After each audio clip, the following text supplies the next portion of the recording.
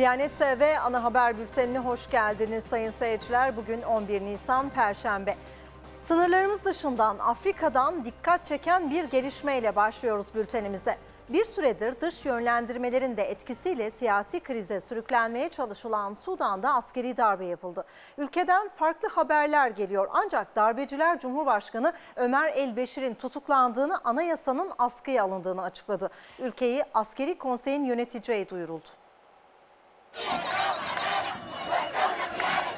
Sudan'da hükümete askeri darbe yapıldı. Binlerce insan sokağa çıktı. Cumhurbaşkanı Ömer el-Beşir tutuklandı. Ülkede 3 aylığına olağanüstü hal ilan edildi. Geçiş konseyi oluşturulması için çalışma başlatıldı. Güney Sudan'ın bağımsızlığını kazanması ekonomik krize neden olmuş, petrol gelirleri önemli ölçüde azalan ülkede kemer sıkma tedbirleri halkı isyan ettirmişti. 19 Aralık 2018'de başlayan hayat pahalılığı protestoları dış güçlerin de desteğiyle bir siyasi krize dönüştürüldü. Cumhurbaşkanının istifasını talep eden gösterilerde can kayıpları oldu.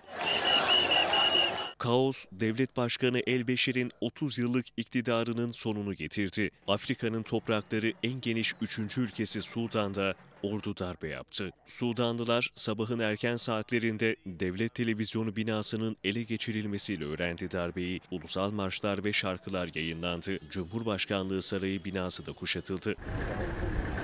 Sokaklarda asker ve ordu bünyesindeki hızlı destek kuvvetleri mensupları konuşlandı. Darbeye karşı herhangi bir direniş yaşanmadı. İktidardaki Ulusal Kongre Partisi'nin başkanı ve yüzden fazla yöneticisi Sudan istihbaratı tarafından tutuklandı. Hartum Uluslararası Havalimanı'nda uçak seferleri durduruldu. Sadece gelen uçakların inişine izin verildi. Sudan Savunma Bakanı Avad Bin Avf, ülkede 3 aylığına olağanüstü hal ilan edildiğini açıkladı. Anayasanın askıya alındığını ve ülkeyi iki yıl boyunca askeri konseyin yöneteceğini duyurdu. Geçiş döneminin ardından seçime gidileceği ifade edildi. Sabah saatlerinde gözaltına alınan birçok siyasi lider daha sonra serbest bırakıldı. Bir ay boyunca saat 19'dan sonra sokağa çıkma yasağı getirilen ülkede askeri darbenin ardından muhalifler sokaklarda kutlama yaptı.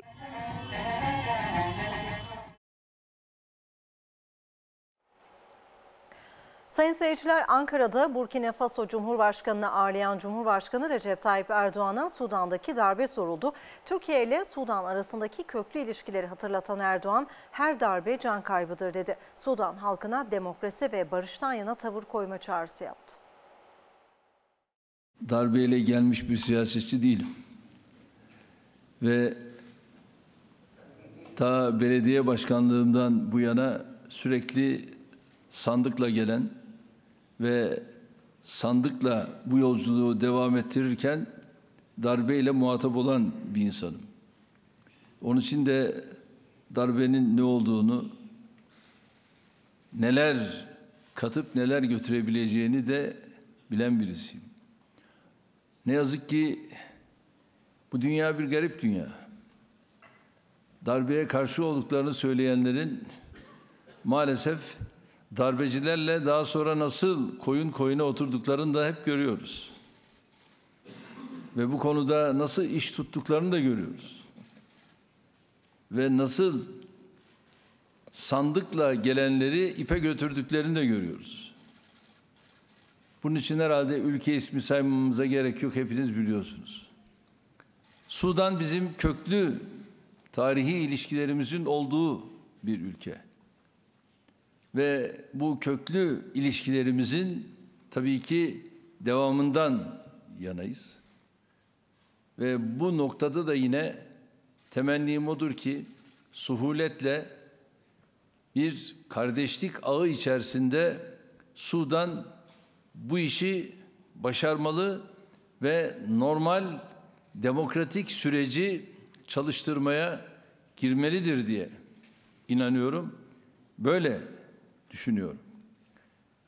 Son dönemlerde Sudan'ın yaşadığı sıkıntıları da bilen birisiyim. Bütün bu ekonomik sıkıntıları da aşmak suretiyle Sudan'ın farklı bir sürece girmesi bu bizim için önem arz etmektedir. Şu anda çok değişik haberler gelmektedir. Sayın Ömer Beşir'le ilgili evinde midir veyahut da bir başka yerde midir? Bunlar hakkında sağlıklı bir bilgi vermemiz söz konusu değil. Ama şunu söyleyeyim, milli uzlaşı temelinde ve barış içinde Sudan'ın bu süreci atlatması en önemli temennimdir. Çünkü bu ülkeler bu tür darbelerden çok çekti ve her darbe çok ciddi bir kan kaybıdır. Bu kayba dost, kardeş Sudan'ın muhatap olmasını doğrusu istemem. Sayın seyirciler, yerel seçime ilişkin yeni karar ve tartışmalar devam ediyor. Yüksek Seçim Kurulu oyların yeniden sayıldığı İstanbul Büyükçekmece'deki durumla ilgili kararını erteledi. Vatana, millete hayırlı uğurlu olsun. AK Parti'nin İstanbul'da sandıkların yeniden sayılması talebini Yüksek Seçim Kurulu reddetmiş, sadece 51 sandıkta sayımın tekrar yapılmasına karar vermişti.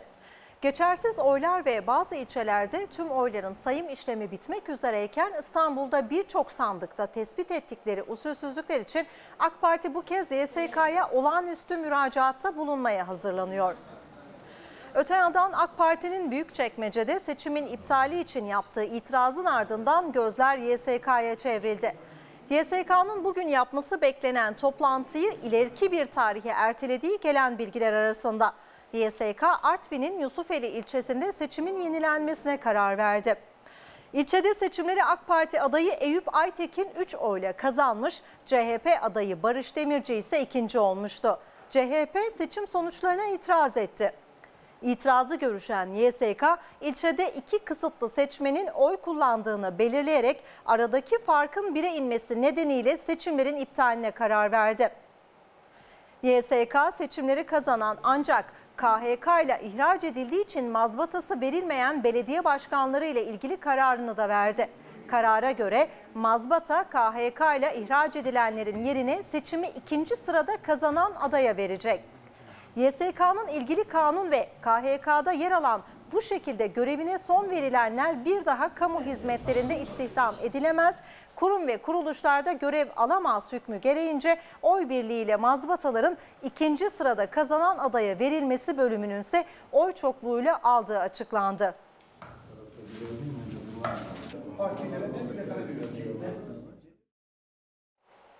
Sayın seyirciler, Türkiye sözde Ermeni soykırımı tasarısıyla zaman zaman asılsız, haksız ve hukuksuz ithamlara maruz kalıyor. Son adım İtalya'dan geldi. İtalyan Meclisi herhangi bir bağlayıcılığı olmayan sözde Ermeni soykırımı önergesini kabul etti. Bu adıma Ankara'dan sert tepki geldi. Dışişleri Bakanı Mevlüt Çavuşoğlu, tarihi siyasallaştıran tüm girişimler gibi İtalya'nın bu kararı da bizim için yok hükmündedir dedi. Türkiye'den Fransa Cumhurbaşkanı Emmanuel Macron'a da tepki var.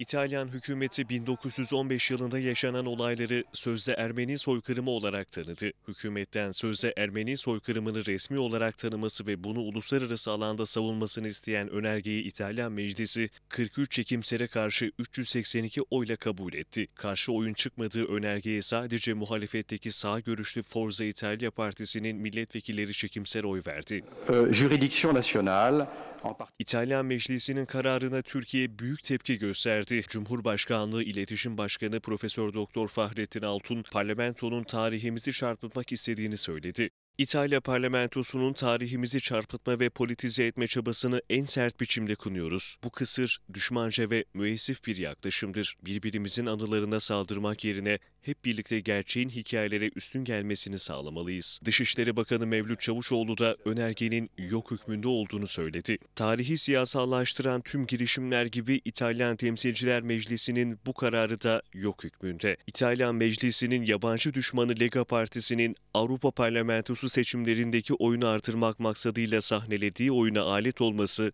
kabul edilemez. Dışişleri Bakanlığı'ndan yapılan yazılı açıklamadaysa İtalya'nın siyasi çıkar hesabında olduğu ifade edildi. İtalya Temsilciler Meclisi'nin önergesi Ermeni iddialarının iç siyasi çıkar hesapları için bir araç olarak kullanılmasının yeni bir örneğidir. Bu önergeyi şiddetle kınıyoruz. Bu çabalar hiçbir tarafa yarar sağlamadığı gibi geleceğe dönük iyi niyetli girişimlerin de önünü tıkamaktadır. Tarihi siyasallaştıran tüm girişimler gibi bu önergenin de Türkiye açısından hiçbir hükmü yoktur. Bu arada Türkiye, Fransa Cumhurbaşkanı Macron'un 24 Nisan'ı anma günü ilan etmesine de tepki gösterdi. Dışişleri Bakanlığı'ndan yapılan yazılı açıklamada Fransa'nın dostane olmaktan uzak bu tutumunun Türkiye ile ilişkilerini menfi şekilde etkilemesi kaçınılmazdır denildi. Milli Savunma Bakanı Hulusi Akar da telefonla görüştüğü Fransız mevkidaşına 24 Nisan kararından duyulan rahatsızlığı iletti. Parce que oui, ce soir, Onlar vatan nöbetinde bayrak inmesin, ezan dinmesin parolasıyla kar kış gece gündüz demeden elleri tetikte bekleyen özel harekat polisleri. Hakkari'de zor koşullarda görev yapan özel harekatçılar göğsümüzü kabartıyor. Yerli ve milli silahlarla tam donanımlı timler teröristlere göz açtırmıyor. Hava sıcaklığı sıfırın altında eksi 15. Görev yerleri yüksek dağlarla çevrili Hakkari'nin Yüksekova ve Çukurca kırsalı. Onlar kısaca PÖH olarak bilinen polis özel harekat timleri. Her türlü hava koşulunda gece gündüz görev yapan özel harekatçılar Doğu ve Güneydoğu'nun zorlu kış ve arazi şartlarına rağmen gözünü kırpmadan vatan nöbeti bekliyor. bayrağımız, dinimiz ve vatanımız uğruna 7-24 boyunca görev yapmaktayız ve bu kutsal saydığımız değerlerimiz uğruna seve seve canımızı vermeye her zaman hazırız. Hakkari Emniyet Müdürlüğü'nde görevli özel harekat timleri terörle mücadeledeki başarılarıyla göz dolduruyor. Kent merkezindeki Bayraktepe'nin yanı sıra 3 tepeye konuşlandırılan Kale 1, Kale 2, Kale 3 ve Yüksekova Çukurca yolundaki Kale 4, güvenlik noktalarında görevli özel harekat polisleri yerli ve milli silahlarla tam donanımlı şekilde bölgeyi kontrol altında tutuyor. Hainlere göz açtırmıyor. Bu teröristlere dağları dar edeceğiz. Bundan hiçbir arkadaşımızın şüphesi olmasın. Hiçbir şehit ailesinin, hiçbir gazi ailesinin şüphesi olmasın. Biz buralardayız. Biz buralarda olduğumuz sürece onlar buralarda olamayacaklardır. Koordineli arama tarama nöbet ve gözlem faaliyeti yürüten özel kahramanlar Mehmetçik'le birlikte canları pahasına büyük bir fedakarlıkla görevlerini yerine getiriyor. Hakkari Polis Özel Harekat Birliği olarak sınır bölgemizden tüm teşkilat mensuplarımızın 174. kırılış yıl dönümlerini tebrik ediyoruz. Evet bizler de 174. kuruluş yıl dönümünü kutlayan Emniyet Teşkilatımızı kutluyor. Özel harekat polislerimizin polis haftasını tebrik ediyoruz. Sayın seyirciler, Türkiye Diyanet Vakfı'nın gönül coğrafyamızda kardeşlik köprüleri kurmak ve Müslümanca bir bilincin oluşmasına katkıda bulunmak amacıyla gerçekleştirdiği uluslararası öğrenci programlarına yoğun ilgi var. Bu yıl Avrupa'dan Afrika'ya, Asya Pasifik'ten Latin Amerika'ya, Orta Asya'dan Balkanlara kadar dünyanın 111 farklı ülkesinden 9646 öğrenci Türkiye'de eğitim görmek için başvurdu. Türkiye'den binlerce kilometre uzaklıktaki ülkelerden geliyorlar. Ülkemizde doğru dini bilgiyi öğreniyor, iyi bir eğitimle donanıyor, dilimizle ve kültürümüzle tanışıyorlar. kendi ülkelerinde doğru dini bilgiyi yaymalarını, aktarmalarını, o toplumda önderlik, öncülük etmelerini hedefliyoruz. Türkiye Diyanet Vakfı işte bu amaçla her yıl Uluslararası İmam Hatip ve Uluslararası Lisans Eğitim programlarıyla dünyanın dört bir yanındaki öğrencilere Türkiye'de eğitim imkanı tanıyor. O eğitimlere bu yıl yine yoğun bir talep geldi. Bu yıl e, başvuru sayımız e, 9646. Tabii ki bunların ne kadarına olanak verebiliyoruz? Bu bir genel başvuru. Buradan ekiplerimiz sahaya gidiyor. Gittiğimiz yerlerde doğrudan öğrencilerimizi seçiyoruz. Önce e, zeka testleri bölgelere göre değişen ve daha sonra sözlü mülakatlarla bu öğrencilerimizi seçiyoruz. Gönül ister ki daha fazla öğrenci alabilelim. Tabii ki bu bağlamda 450 Uluslararası İmam Hatip Lisesi öğrencisi ve 200 de Uluslararası İlahiyat Lisans dediğimiz e, alanda öğrenciyi almış olacağız. Dolayısıyla 650 öğrencimize ancak bir karşılık sunmuş olabileceğiz. Peki uluslararası İmam Hatip ve lisans eğitimlerine ilgi neden yoğun? Cevap net. Hatalardan birisi şu. Diyanet İşleri Başkanlığımızla birlikte onların da rehberliği çerçevesinde bu öğrencilere çok ciddi donanım vermeye çalışıyoruz. Edep, ahlak, İslam bilinci, şuuru, met bilinci, kimlik, kişilik gibi birçok inşa süreci e, burada devam ediyor. Diyanet İşleri Başkanlığı, Türkiye Diyanet Vakfı ve Milli Eğitim Bakanlığı'nın işbirliğinde gerçekleştirilen projeyle öğrenciler ülkemizde tam donanımlı bir eğitim alıyor. Türkiye Diyanet Vakfı Genel Müdür Yardımcısı Abdurrahman Çetin, vakfın bu süreçte öğrencilere hem maddi hem de manevi anlamda destek verdiğinin altını çiziyor.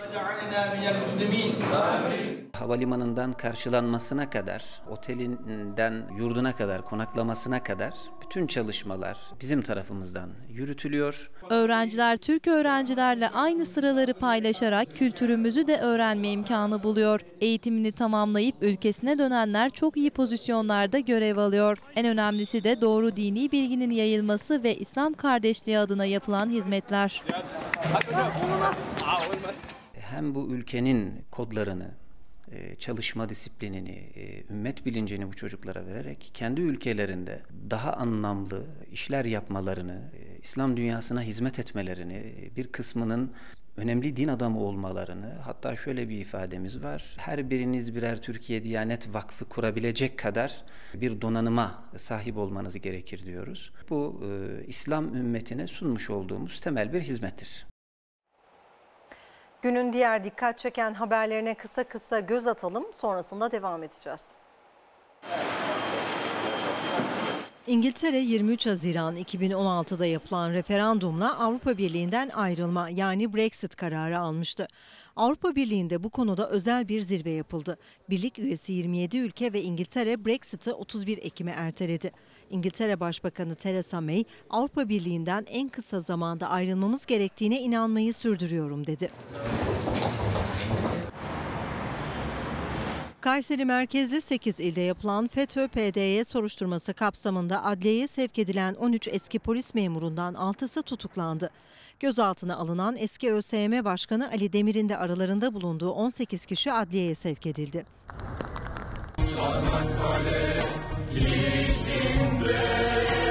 Türk Polis Teşkilatı'nın kuruluşunun 174. yıl dönümü etkinlikleri sürüyor.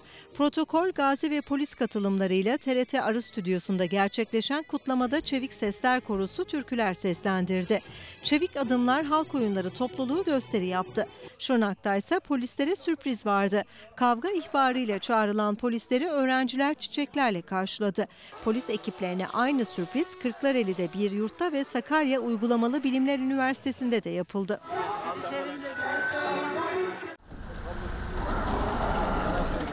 Ankara'nın Yeni Mahalle ilçesinde 16 sokak köpeğini zehirleyerek telef ettikleri öne sürülen 3 şüpheli tutuklama talebiyle mahkemeye sevk edildi. Ankara'da önceki gece Batıkent bölgesine minibüste gelen kişilerin bıraktıkları tavuk etinden yiyen 16 sokak köpeği telef olmuş, bazıları da veteriner kliniğinde tedavi altına alınmıştı.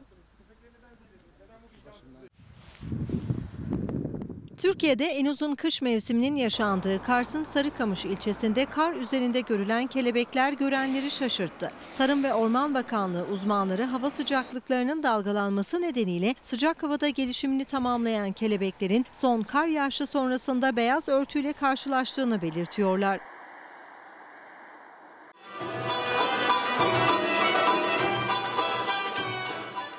Strasbourg'daki Avrupa Konseyi binasında Trakya Üniversitesi Geleceğim Sensin Orkestra ve Korosu'nun marşları türküleri yankılandı. Konseyin Parlamenterler Meclisi daveti üzerine gerçekleştirilen konserde Edirne'de dar gelirli ailelerin yetenekli çocuklarından oluşan koro, Türk Marşı, Kızılcıklar Oldu mu, Uzun ince bir yoldayım, Çanakkale Türküsü, Drama Köprüsü, Vardar Ovası ve Nihavent Longa gibi eserleri seslendirdi. Sayın seyirciler, TÜBİTAK tarafından liseli öğrencilere yönelik proje yarışması başlatıldı. 220 okulun birbirinden renkli projelerinin bulunduğu yarışmada 21 İmam Hatip Okulu'nun projeleri de yer alıyor. Yapay zeka, engelli rampası, duyan gözler Kur'an meali, göz kirası ve daha nice ilginç projeler. TÜBİTAK'ın düzenlediği proje yarışması genç mucitleri buluşturdu. E, Buradaki projeler gerçekten hepsi çok kıymetli. Öğrencilerimiz çok başarılı son derece.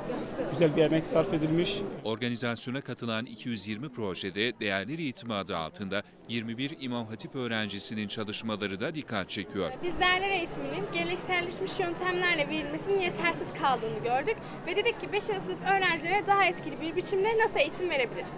Araştırma yaptık ve araştırmamızın sonucunda bunun drama yöntemiyle mümkün olduğunu gördük. Ve değerlerimi canlandırıyorum etkinliği ortaya çıktı.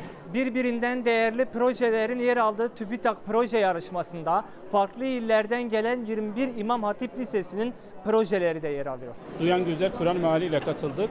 Van'da, e, Van bölgesinde 8 tane ilin yarışmış olduğu bölge e, arasında değerler eğitimi dalında birinci olduk. Şeyma Nur Bağlayıcı, İmam Hatip Lise son sınıf öğrencisi. Kur'an Meali projesiyle TÜBİTAK yarışmasına katılacak. Şeyma başlattığı proje ile işitme engellilere Allah'ı ve Kur'an'ı tanıtacak. Özel ders verdiğim öğrencilerim 7 ve 10 yaş arasından bahsediyorum. Özel ders verdiğim öğrencilerim işitme engel, duymuyorlar.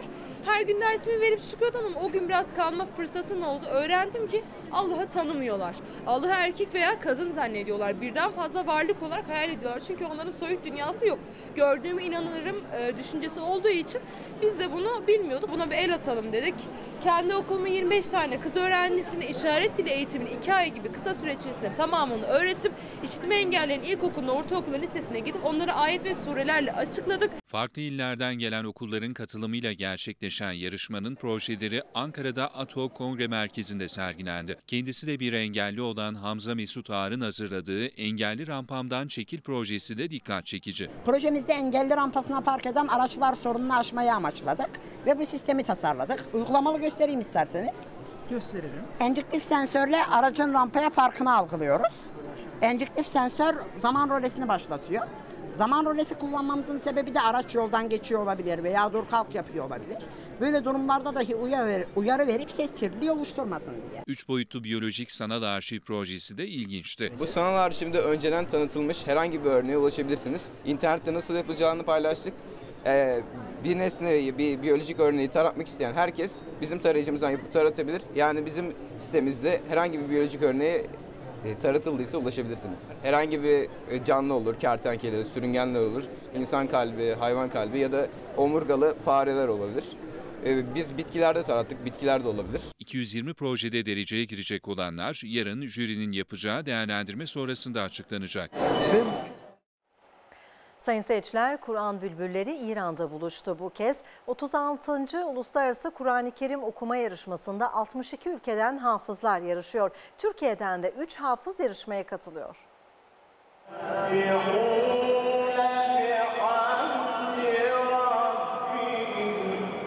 36. Uluslararası Kur'an-ı Kerim okuma yarışması İran'ın başkenti Tahran'da yapılıyor. Yarışmaya Türkiye'nin de aralarında bulunduğu 62 ülkeden 123 hafız katılıyor.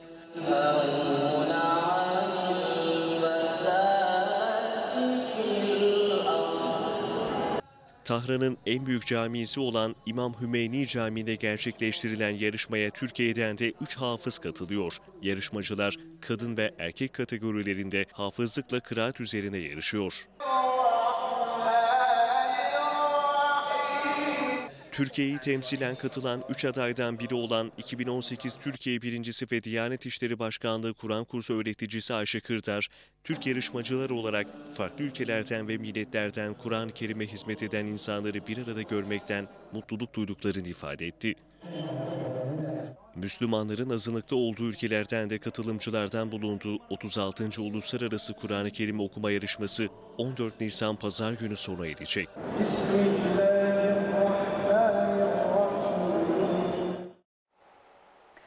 İslam coğrafyasında maalesef yine ciddi sıkıntılar yaşanıyor. Öne çıkan o üzücü manzaraya birlikte göz atalım şimdi de.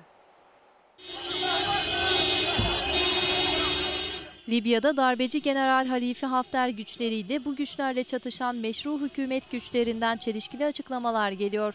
Taraflar başkent Trablus'un Ayn Zara beldesindeki en büyük askeri kamp olan Yermuk kampını ele geçirdiklerini açıkladılar. Hafter birlikleri ayrıca Trablus Havalimanı'nın da kontrolünün kendilerinde olduğunu iddia etti. Ulusal Mütübabak hükümeti güçleri Hafter güçlerini çocuk savaşçı kullanmakla suçladı. Öte yandan Birleşmiş Milletler Genel Sekreteri Antonio Guterres, Libya'da çatışmaların arasında sıkışıp kalan göçmen ve mültecilerin durumundan özellikle endişe duyuyorum açıklamasını yaptı.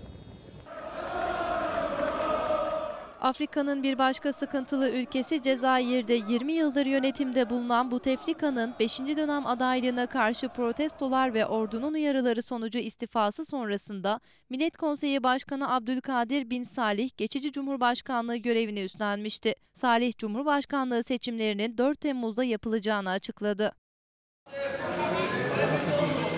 İsrail Mescid-i Aksa'da provokatif baskınlarını sürdürüyor. İsrail Tarım Bakanı Uri Ariel beraberindeki fanatik Yahudilerle Aksa'ya girerek Filistinlileri tahrik etmeye çalıştı. İsrailli grup Aksa'nın avlusunda bir süre dolaştıktan sonra ayrıldı. Yahudi Evi Partili Bakan Ariel, Mescid-i Aksa'ya sık sık baskın düzenlemekle tanınıyor. Endonezya selle mücadele ediyor. Batı Java eyaletinde hafta başından bu yana etkili olan sellerden 24.813 kişi etkilendi. Bandung kenti ve çevresinde yüzlerce kişi güvenli bölgelere tahliye edildi. 22 Nisan'a kadar acil durum ilan edilen bölgede afetzedelere yardım çalışmaları devam ediyor. Bölgede geçen ay meydana gelen selde yüzden fazla kişi yaşamını yitirmişti.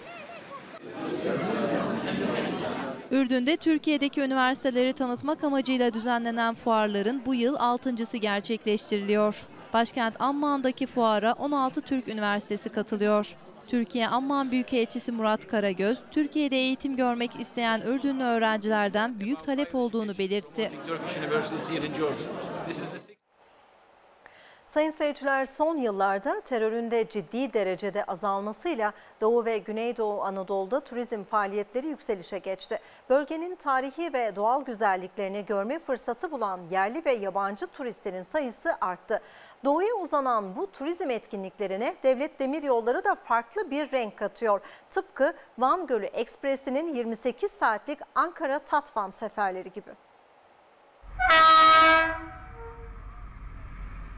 Van Gölü Ekspres sayesinde doğunun güzelliklerini görmüş olduk. Yolculara Anadolu manzarası eşliğinde seyahat imkanı sunuyor, güzergahındaki yörelerin doğal güzelliklerini yolcularıyla buluşturuyor. Bu seyahat keyfinin adı Van Gölü Ekspresi. Ankara'dan yola çıkıyor 8 vagonlu Van Gölü Ekspresi. Rotasında Bitlis'in Tatvan ilçesi var. Yolculuk bir günü aşıyor. Raylar üzerinde 28 saat süren Tatvan yolculuğu Kırıkkale, Kayseri, Sivas, Malatya, Elazığ, Bingöl ve Muş güzergahını takip ediyor. Bir tren kompartımanının camından açılan dünyayı mevsimine göre nefis Anadolu manzaraları süslüyor. Ankara'dan e, şu an Van'a kadar gidiyoruz, Tatvan'a. Çok güzel, e, yani böyle kafa dinlemek için geldik aslında biraz böyle 24 saat kendimizde kalmak için. 320 yolcu taşıyan trende seyahat sadece bir yolculuk olarak görünmüyor. Deyim yerinde ise kafa dinleme ve günlük yaşamın stresinden kurtulmanın farklı bir keyfin adı Van Gölü Ekspresi. Yemyeşil ovaları, karlı dağları, ırmakları ve göletleri seyretmek hatta meraklıları için o anları fotoğraf karelerinde ölümsüzleştirmek için de fırsat buluyor yolcular. Sabah 6'da saatimizi kurduk, uyandık. Sırf manzaraları kaçırmamak için.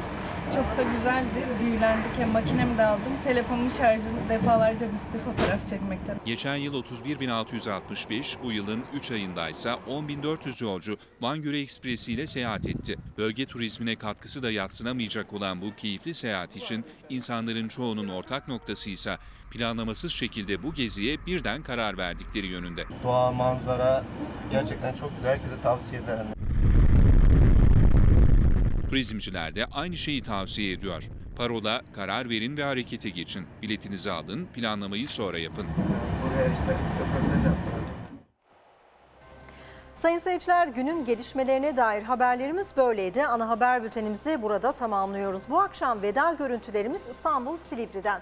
Kanola bitkisinin sapsarı çiçeklerinin baharı müjdeleyen, insanın içini ferahlatan görüntüleriyle baş başa bırakıyoruz efendim.